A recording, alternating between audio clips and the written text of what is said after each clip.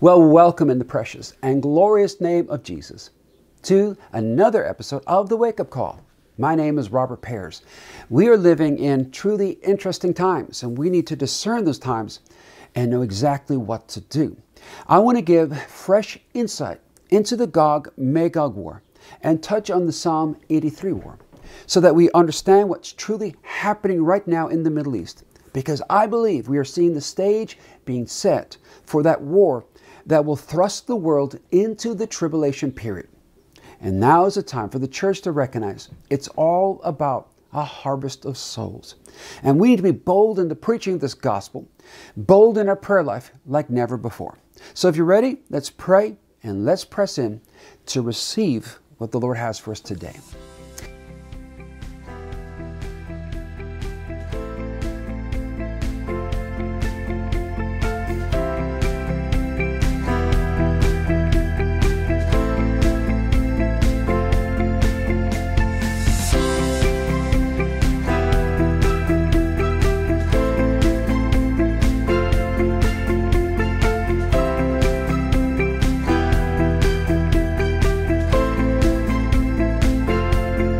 So, Father, we just come in that name that is above all names. We come to you and to your word. And I ask of you for eyes to see, ears to hear, and a hearing heart. And I thank you, Holy Spirit, you come to teach us and tell us the things that are to come.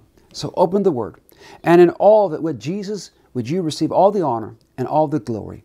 And I thank you, Father God, that we would so arise and be the people that you desire us to be in this last and final hour, in that name that is above all names, the name of Jesus, we pray. And everyone said, Amen. Well, let's start looking at Psalm 83.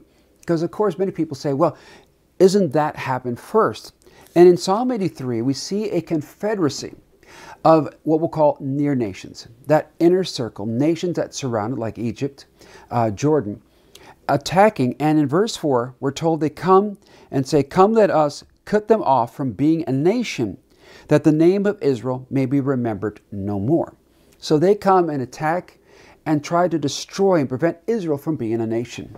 And I really believe that this happened in 1948 and 67. And it really changed the, uh, the really the stage, what's going on because Israel would gain back Jerusalem and become the united city, the united capital, I should say, of Israel. They got back the Temple Mount, though, of course, they've given over the ownership or the, the, the, the protection of that right now to Jordan. Now, in looking at Psalm 83, many people said that it will bring in this peace and it will cause Israel to get rid of its walls and set the stage for the upcoming Ezekiel 38 and 39 war. Many people say that this war has not happened, this Psalm 83, and I disagree. So let's go to Ezekiel 38 for a minute because there are certain issues we need to address. And of course, one of the famous ones is found where it says um, in verse 11, You will say, I will go up against the land of unwalled villages. Please underline that. Um, if you read some of the older commentaries regarding this war, where you see how things were back at the time Ezekiel is giving the prophecy, that at that time, most nations, most cities, sorry, um, had walls of protection. In fact, I grew up in a town uh, in Northern Ireland, and it had a wall around it that was built, I believe, around the 15th, 16th century. So we can see that many cities had walls back in the time of Ezekiel.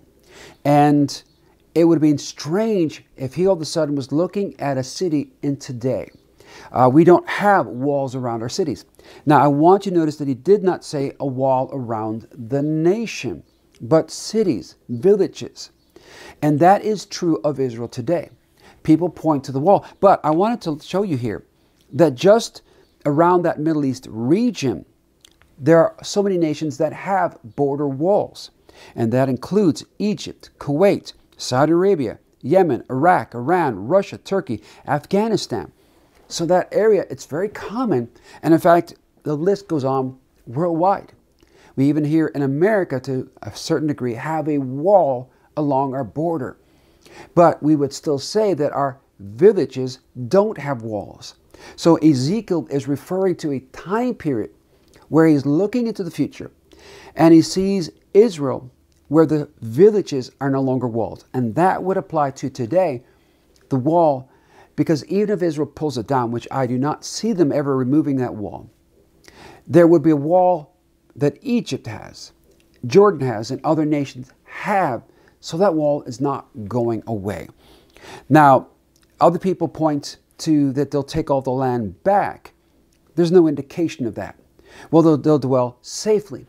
That word safely means with a security and also translates complacency. So they have a great sense of security, which Israel does. We know from the valley of the dry bones that God would bring them back, restore them as a people, and make them a great army. And Israel is one of the most powerful armies in the world. That's the reason why we're not seeing as many attacks to invade Israel like we did in 1948 and 67. They've really become very powerful. I want to also point out something here in Psalm or sorry, Ezekiel 35.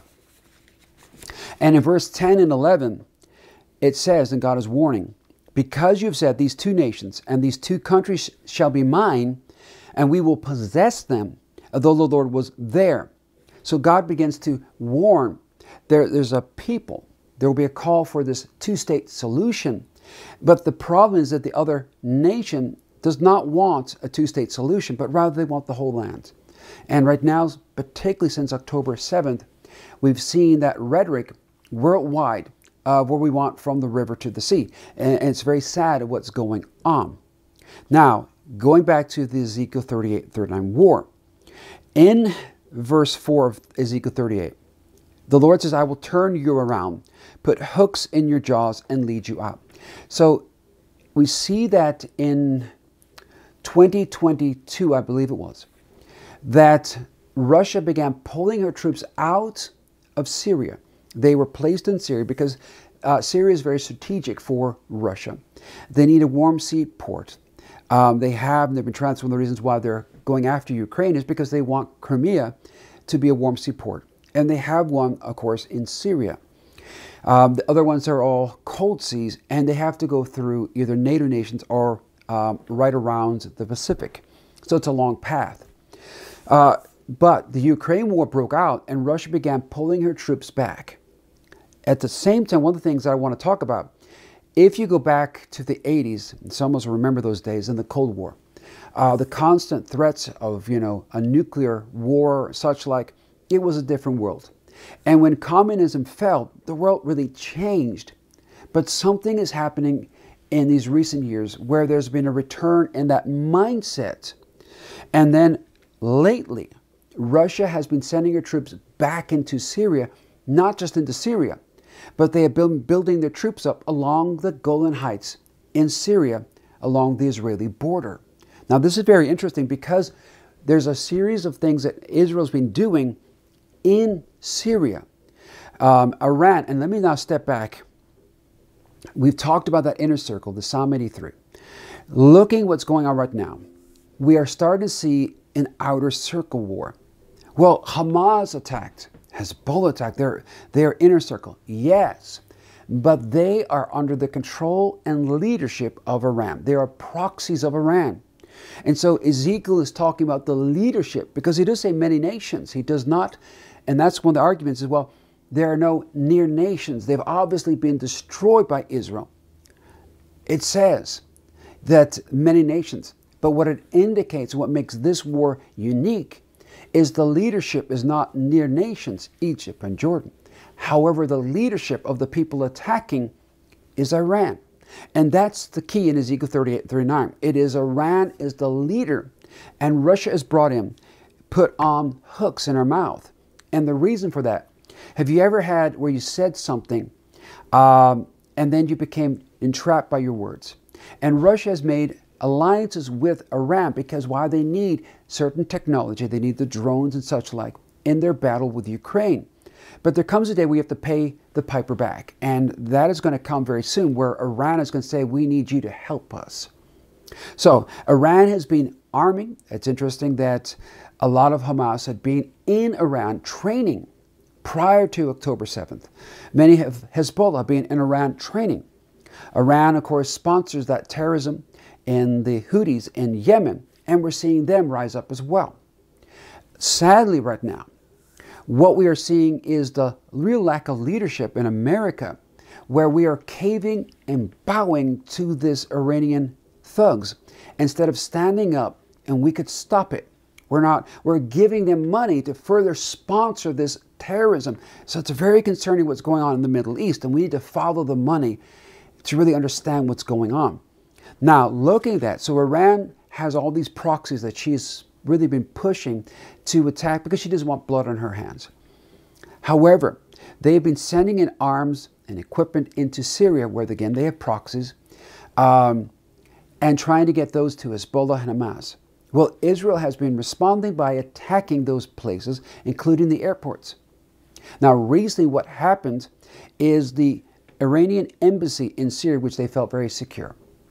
Um, Israel attacked the building beside it and killed the leading guy who is in charge of all these terrorist attacks, including the terrorist attacks in Iraq against Americans. So this should have been an event that even America rejoiced at because this was a terrorist who has been killing Americans in Iraq. Even Iraq has really fallen, and Iranian proxies now have a ring of fire. And that's one of the things that we're seeing right now.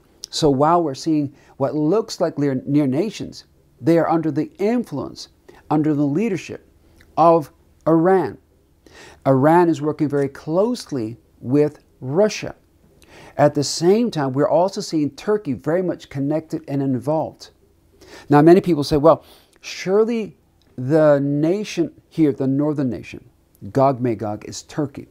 And maybe you think that, no, whatever. Um, I disagree. And I've done a video where I've shown all the way going back to Josephus, where he defined this Magog people as the Russians.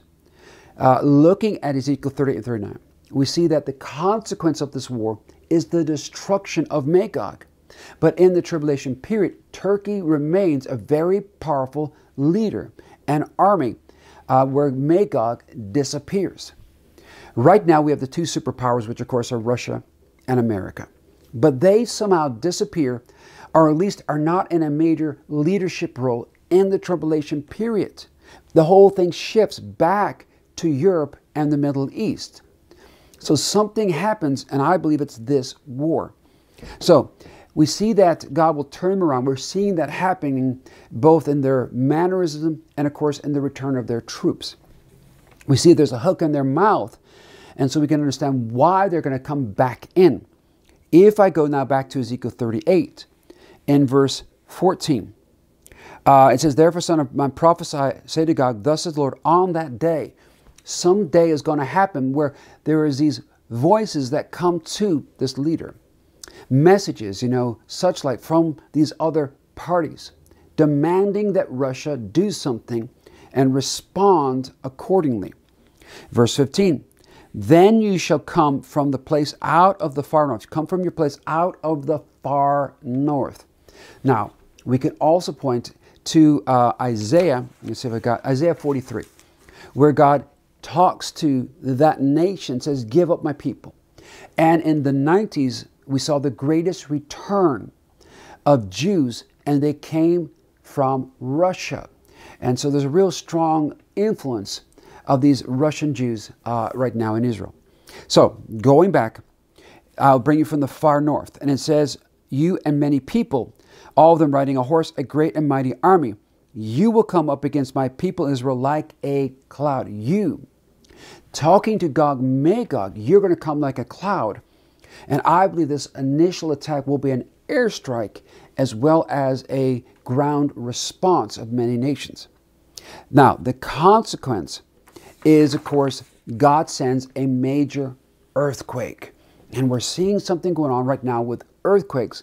And I believe that God is trying to give us a warning that we are so close to his return. If I go to Luke 21, verse 26, Jesus said this Men's heart failing them from fear and the expectation of those things coming on the earth. And that word coming means something coming down onto the earth for the powers of the heavens will be shaken. What is he talking about? Well, it wasn't COVID. It wasn't any of the financial crisis of you know 28, uh, 20, sorry, 2008, 2020 hasn't caused this. What is it? Well, as we look at this Ezekiel 38 39 war, I want to show you a couple things. First is the response of the nations.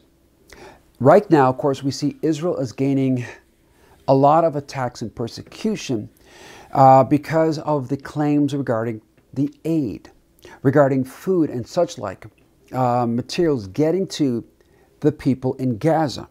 So when I look at what the rebuke is, verse 13, Sheba Dedan, the, uh, let me go back to verse 12.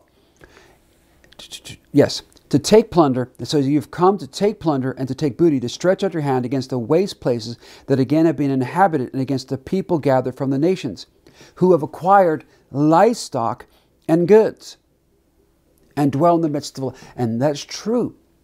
But I want you to see that they point out livestock and goods. And then go on to explain have you come because of the livestock and goods, what Israel has? And we can see, as I said, Israel is gaining a lot of persecution over the claims that they are starving the Gazan people, that what's going on in Gaza. Even though they're producing evidence, no, that's not the case. There's a lot of food. That is the narrative, and that is the narrative that I see in this chapter. That they're going to speak out and say, well, that justified what they did because, well, Israel was bad. Now, and they don't stand with Israel. There is a consequence. Of course, God sends this mighty earthquake that is felt all around the world. So get ready.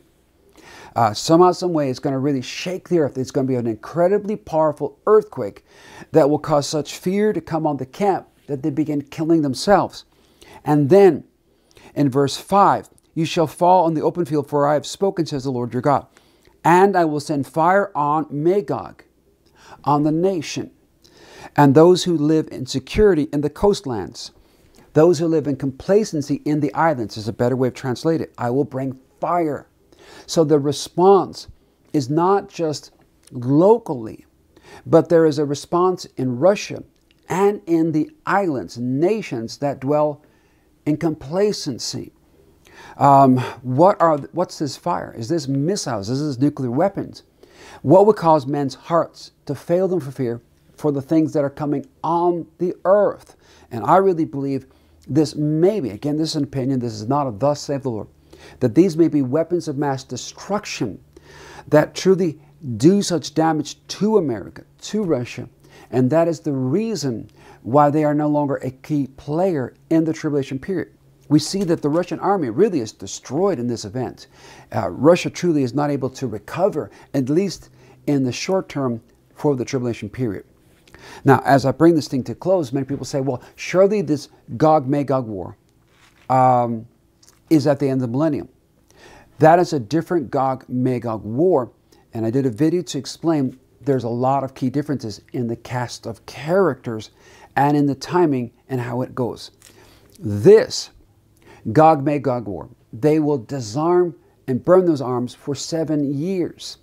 So, why would they, if it occurred, say, year two or three in the tribulation period, why would they continue to burn in the millennium? Because the seven year period would end and there would be such an overlap where they'd be still burning these weapons doesn't quite make sense to me.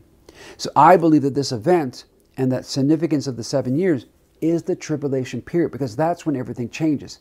And the Battle of Armageddon is where the nations come to Jerusalem, to that valley by Jerusalem. And that is where they launch a war against Christ, who then returns. Totally different war. Different cast of characters, different series of consequences. This war, which is coming, I believe, changes the whole scenario. To give you an example, we saw that Jesus said regarding the kingdom that he would lease it to another nation that would bear fruit in its season. It starts with Germany. We can see Germany, for example, uh, under Martin Luther, the Reformation.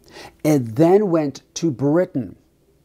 Uh, after it went to Britain, Britain became the leading voice that impacted, of course, America. Now, that, and I should step back, that Britain becoming that leading voice revolved around the destruction of the Armada, because prior to that, Spain ruled the waves. And had that not occurred, most likely America would be completely Spanish and would be dominated by Catholicism. But what there was was a change when Britain defeated the Armada, there was a shift and Britain then would become that leader that took, um, I think it was a quarter of the earth, something like that, they, they owned, up until the second, first and second war, where we saw the decline of Britain, and the gospel then was went over to America, and America's been the leading voice, you know, preaching the gospel, sharing it worldwide, until recently. Now we are going into decline. And in the last days, of course, we know it goes back to Israel. So there's going to be a final shift and what you see historically is there's some major event that causes that shift, a war or something. Um, I could even explain how the gospel started initially with the Jews, but would shift to the Gentiles. Uh, started with the destruction of the temple in AD 70, and then, of course, the uprising, uh, I think, which is 135 AD, and that ended where the Jews felt betrayed by Christians because Christians could not stand by that man who claimed he was the Messiah. They believed Jesus was. And Christians became anathema. And from that point, there really was a separation, and the church became predominantly Gentile. So we've seen shifts. And as we look at the tribulation period, we look at the book of Revelation, there is a shift where everything goes back to Israel. We see the two witnesses become the voices of authority and delegation and of course, they will then delegate and send out the 144,000. So there's going to be a change. And the 10 toes, of course, the 10 kings, they're all related to Europe and the Middle East. So a change is coming. And I believe it is this Ezekiel 38 39 war that we are about maybe see uh, that's going to launch the world into the tribulation period. But we have to realize we're truly seeing the stage being set for that event. And we could wake up any day and see this happen or see some alarm go off warning us this war has begun. And, church, this is the time for us to pray. This is the time because why? We are told that the husband, the Lord our God, waits long for what? The harvest of souls. He is longing for a harvest of souls. And we, the church, are here with the purpose of preaching this gospel. We are here and the context of that you are the salt of the earth. And, you know, salt, it's lost its flavor, cannot be reseasoned, was persecution. Go back to the Sermon on the Mount in Matthew chapter 5 and read it. And so we are salt and light, particularly in a difficult season, which we're seeing right now. And now more than ever, we need to rise up by getting first on our knees and humbly praying and interceding for the people, and then preach this gospel with a real sense of urgency um, realizing we are anointed and appointed for such a time as this. Amen. Well, I pray you're blessed, and I pray this message has ministered to you. If it has, in the name of Jesus, would you please like, share, subscribe, and give your comments? Because as you do, you really help us with the algorithms at YouTube and Google. And I so thank you that together we would impact we need to stand together. And I really ask, would you consider being a prayer partner with us? You can do it unofficially. If you want to do it officially, you can sign up on our partner page at robertpears.org. You will get our email newsletter. We do not ask for money. If God puts on your heart to be a financial partner, thank you. We want to stand together and do something big for the Lord this year. Reach as many backsliders as possible and see believers fulfilling the high call of heaven, preaching this gospel and fulfilling their purpose so that Jesus may see the harvest that he so gloriously deserves. Amen. So, as I finish, I remind you as always that this is the day the Lord has made. We will rejoice and be glad in it because through and for him, in that name that's above all names, the name of Jesus, we pray. And everyone said, Amen and Amen. Thank you.